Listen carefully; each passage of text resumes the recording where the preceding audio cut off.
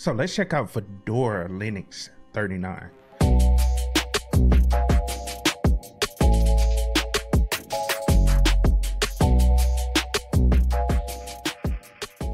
What's up guys, this is Josh back with another video and today I wanted to dive deep into Fedora Linux 39, which is the latest release that's powered by the Linux kernel 6.5 and it comes with a brilliant GNOME 45 integration and introduces Onyx to the family of Fedora's immutable OSs. So let's go down there and hop over to the website so we can cover everything about it. Before we move forward, I wanted to give a quick shout out to CIQ, the official partner of Rocky Linux. Rocky Linux is a Linux distribution that is intended to be a downstream complete binary compatible release using the Red Hat Enterprise Linux operating system source code. The project is led by Gregory Kurtzer, who was the founder of the CentOS project. So check out Rocky Linux at ciq.co. Now, before we jump into all the exciting updates of Fedora 39, let's take a moment to celebrate its 20th anniversary. And Fedora has come a long way since its inception in 2003 and Fedora 39 continues the tradition of excellence. Now let's explore the highlights of this fantastic release. And as you can see, I'm at fedoraproject.org and of course I always have the link down in the description of the video, but we all know that Fedora is 100% free and open source. And so let's scroll down a little bit. I wanted to show you guys this. They have the workstation edition, so you can download that there. The community server, so you can download that server edition. They have an IoT edition. They also have a lightweight VM environment and the container optimized OS as well. So you can download whichever one you need just to test out Fedora. And let's go down a little further but here are a couple of the options that you have. It's a, a mutable desktop, the Fedora desktop experience, you know, with an additional layer of security and reliability. Fedora spins. If you prefer a alternative desktop environment such as KDE Plasma, you can definitely get that installed. Like, and then also XFCE, you can download a Fedora spin for your preferred desktop environment and use that to install Fedora pre-configured for the desktop environment of your choice. And that's similar to the flavors of Ubuntu, which is like you have Kubuntu, which is the KDE version, and Xubuntu, which is that XFCE version. So the same concept. And then Fedora Labs, you can check that out as well. And then Fedora Alternative Downloads, uh, you can click there. And that that's just talking about how you actually download the software. So most of the time they have like a BitTorrent download, or you can download it from different locations. They also have a network installer format, so you can download that one as well. Now Fedora 39 is all about combining cutting edge features with stability, making it suitable for a wide range of users from casual desktop users to developers and system admins. And one of the main standout features of Fedora 39 which we can go back up here and let's just click on learn more. One of the standout features of Fedora 39 is this integration of GNOME 45.1 and that's delivering a vanilla GNOME experience. And with this update, you'll experience dynamic virtual desktops, a performance boost file manager, and a reorganized system settings with more user-friendlier options. And you guys will see that once we get it installed. And another cool thing, Fedora 39 is also powered by the Linux kernel 6.5, which I spoke on earlier in the video. And that's something that Fedora has always done. They have always adopted the latest Linux kernel, which offers user enhancement, performance improvements, and broader hardware support. That's one cool thing about Fedora. Now, another cool thing for this release also introduces Onyx, which is a new member of Fedora's family of immutable OS. And this is featuring the Budgie desktop environment. So that's something I'll show you guys in a minute as well. Now, additionally, Fedora 39 brings updates to the core applications like Firefox, LibreOffice, Rhythmbox, and more. And the developer stack is also refreshed making it a comprehensive choice for a wide range of users. So lastly, before I get to the install, I want to show you guys at least the documentation, or at least how to get to it. You just click right there on the main page. There's the, the downloads button and the documents button. You click there and it'll take you to the Fedora workstation documentation. And it's the same for the, let's say server edition. So let's go back to the front page and hit learn more. If you go down here, server. All right, so let's head over and download our desktop edition right fast. So let's go download now, and this will pull up all your options. They even bring up the Fedora media writer, so you can download this ISO writer. So if in case you need to write it to a USB stick or a CD, if you still have one of those, they do have a Windows version, Mac OS version, and a Linux version. But what I'm gonna do is download the for Intel and AMD x86-64 live ISO. And down here they have the ARM version as well as the Power PPC 64 L LE system. So let's download the live ISO up here. Boom, I'll start our download for us. Now, before I get, I want to show you guys how to get one of those immutable versions. So if we go back home, click up here at Get Fedora. They'll show you the immutable desktops. So you got Silverblue, and Fedora Silverblue is an immutable desktop operating system aimed at good support for container focused workflows.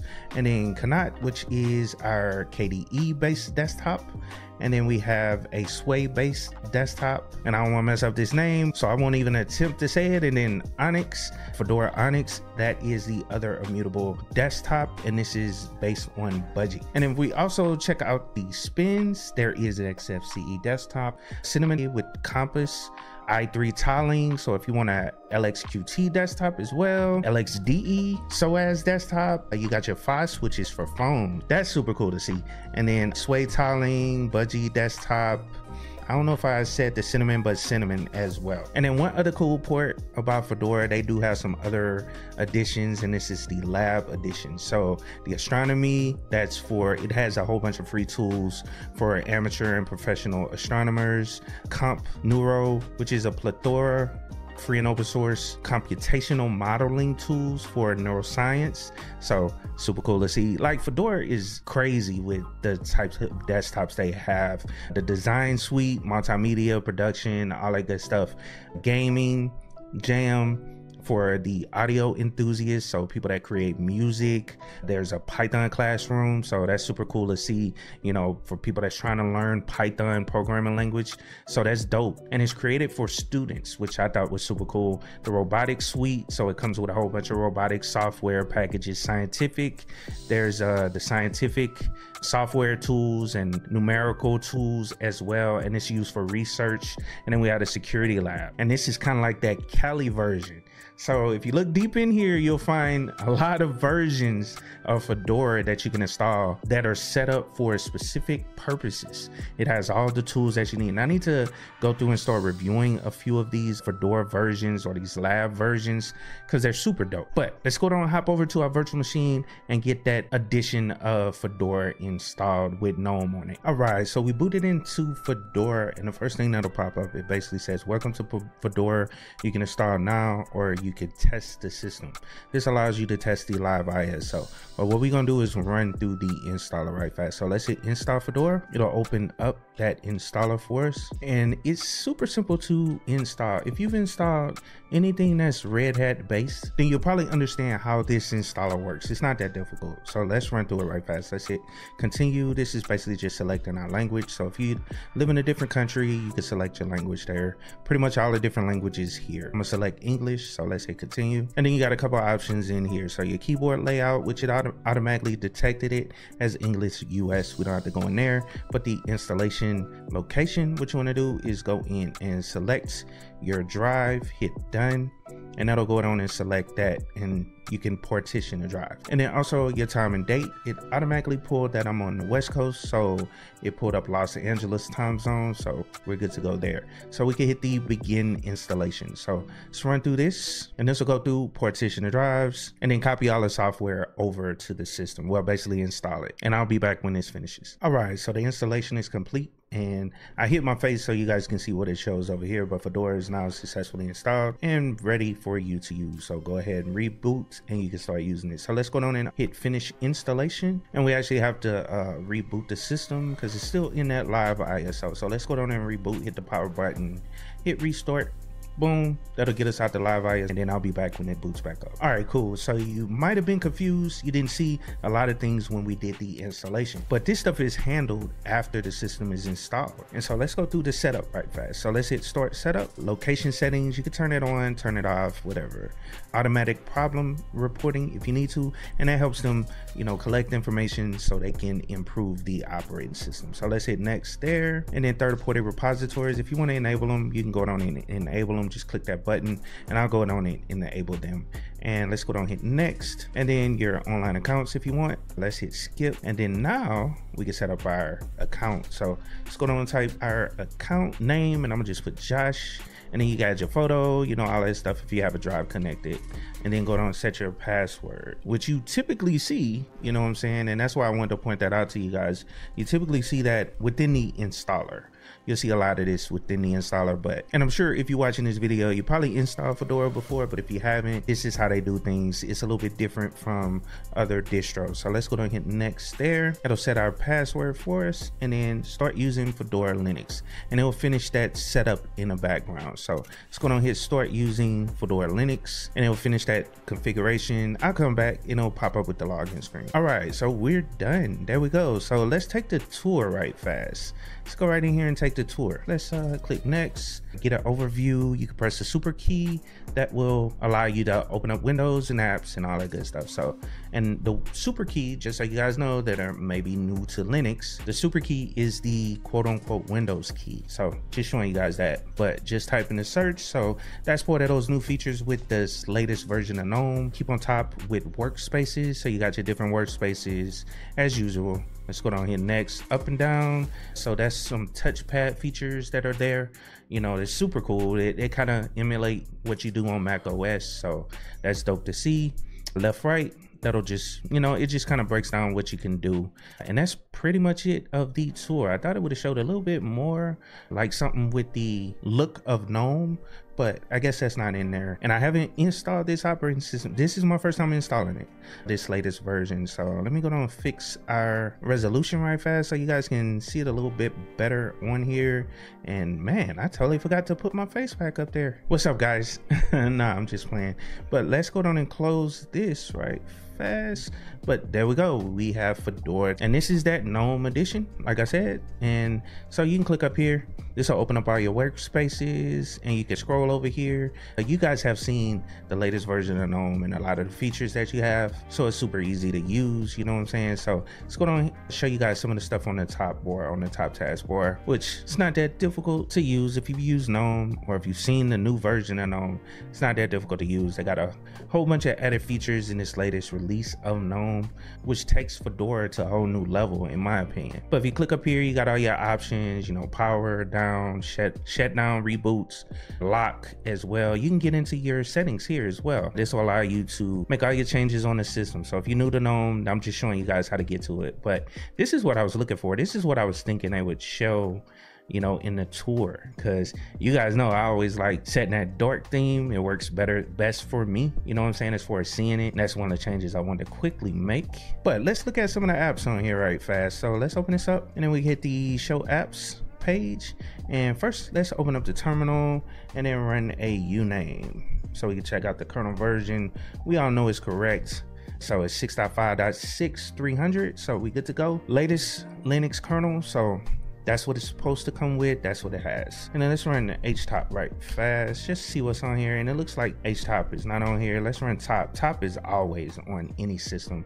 You may have to install HTOP. HTOP just looks a little bit better. That's essentially the difference. But let's press Q to quit. Get out of there and I just kind of wanted to look at a little bit of the information that's there and see what's using majority of the CPU, which is which was GNOME. It kind of went away. Now it's top actually using the most. So the system is running pretty good to say it's in a virtual machine, and I only gave it like eight gigabytes of memory and two CPU cores, just to just so it'll run properly and we can see it in action. Now let's check out some more apps, which I didn't really check any apps, but let's go to Software Center so you guys can see that. But yeah, we have some updates and we could have ran those updates from the terminal, but this is the easiest way if you're learning Linux. You can go down and do all your updates from here. So let's go down here, download, and then we can just kind of look at other software while that's running in the background. File Explorer, let's go down, open that up, and as you can see, that looks super cool the way it looks. Let's make the folders a little smaller. That looks better. But yeah as you can see you know it looks super clean in here as far as the file explorer goes. Let's go into about and that's the gnome you know file manager. So let's go down and close that. But let's see what version of firefox we got on here that it actually came with. All right cool. So that's up. Let's check out the current version. And let's go down to help. And then about firefox. And we got 119 it's good to see it's probably gonna make it an update within this update. Looks like we're getting a bunch of fonts or languages. So languages, different languages and fonts which really is not needed. But we are also getting a, a, major system update. So general system updates such as security and bug fixes, fixes and performance improvements.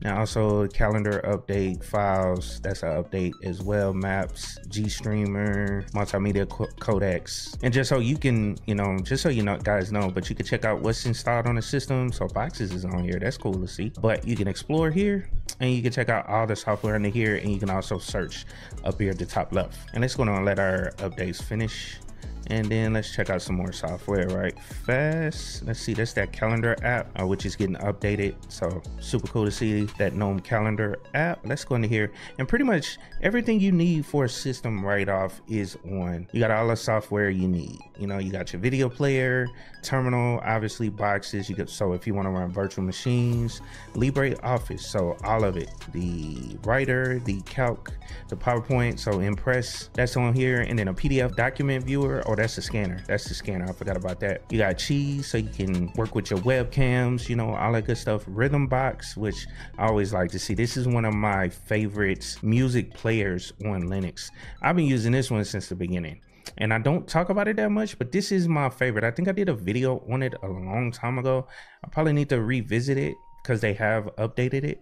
But Rhythmbox is really the main one I used to use because I stored it out on no, and this was in Ubuntu. And so let's go down and close that. And let's go back up in here again and check out some more of the software. But we got our maps, you know, all that good stuff. The Fedora Media Writer that comes on the system by default. And also under here, you got your utilities. And this is an important spot to check out as well. You got your disk or your disk application as well. This checks out the usage and this just shows you the disk in general. So if you have like a hard drive that's plugged in or USB drive that's plugged in, you can safely remove it. You can also do a little formatting there, but I recommend use like GParted or something like that. Now you got your document viewer, image viewer, problem reporting if you need to, and you can check out your logs. And let's check out the log application. So, and you check out all your important logs, all the logs if you want to look at them, different application logs. And this is a super cool application. I like seeing it in, you know what I'm saying? That way people can get an understanding of how logging works in Linux. That's pretty much it. I also wanted to show you guys this system monitor. It's kind of like your system manager in Windows, you know, shows you all your processes, your resources, your file system, so all your hard drives, you know, all that information you want to see for a system. Now that wraps up my overview of for Linux 39 and we talked about the key features of this release and I hope you're as excited as I am about Fedora 39 and what it has to offer. Now, if you have any questions or thoughts about Fedora 9, feel free to leave them down in the comment section below. I'm always happy to engage with the Linux community and provide you with information if you need it. Now, before I go, don't forget to hit the subscribe button and ring the notification bell to stay up to date with my Linux content because I always have more exciting Linux related videos and tutorials coming your way. And thanks for joining me today. And I hope you guys have a wonderful day. And of course, keep it techie.